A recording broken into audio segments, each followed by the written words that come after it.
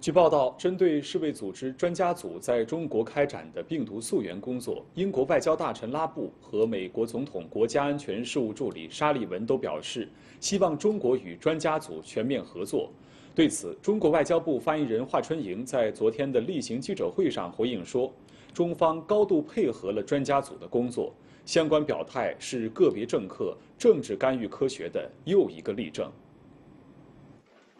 华春莹表示，个别西方政客开口闭口说独立，但独立不等于听命于西方。只有尊重科学，基于事实，才能够产生独立的报告，得出科学的结论。世卫专家组的成员呢，多次表示，中方人员在工作当中给予了高度的配合，想去的地方都去了，想见的人也都见了。在工作当中呢，也是感到了中国同行们的坦率和信任。认为中方的同行是值得信任的，而且他们得到了重要的新数据，也了解了更多的关于病毒传播途径的信息。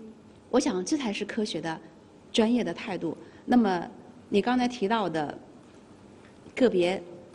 政客的表态，恰恰是政治干预科学的又一个例证。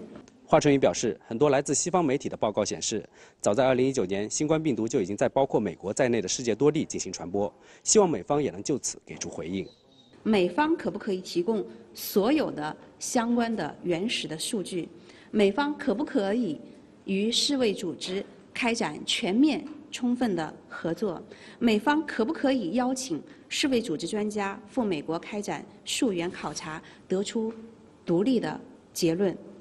华春莹表示，中方已经同世卫组织专家进行了深入的合作，希望有关的国家同样也能秉持积极、科学和合作的态度来开展全球的病毒溯源，分享交流研究的成果，共同为国际抗疫合作和构建人类卫生健康共同体承担应尽的责任和义务。